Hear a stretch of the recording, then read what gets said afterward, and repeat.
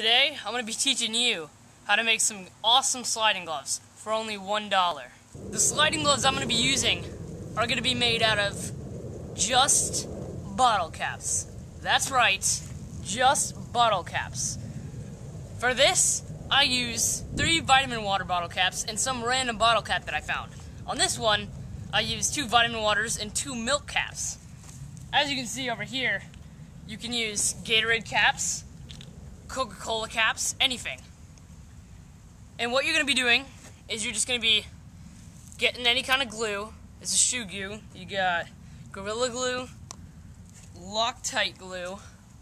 So what you're going to do is you're just going to get the glue and you're just going to glue all the way around the sides of the bottle cap. And it's going to work just like any other sliding glove. And then once you've glued around all the sides of the bottle cap, just gonna stick it on there wherever you want. You can even put on the finger pads, little bottle caps on the fingers. I don't do that because I don't really think I need it.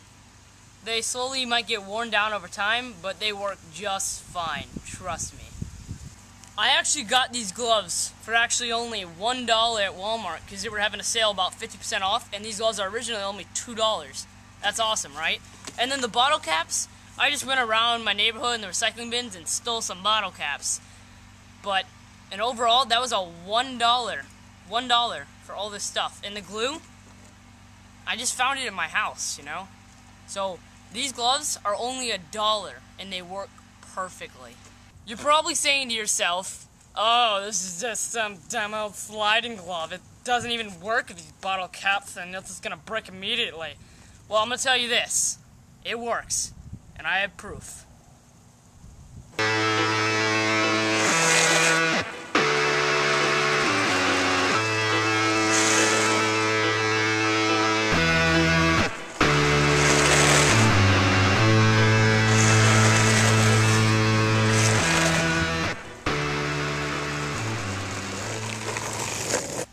Hope you liked my video on how to make sliding how to make sliding gloves out of bottle caps and good luck sliding.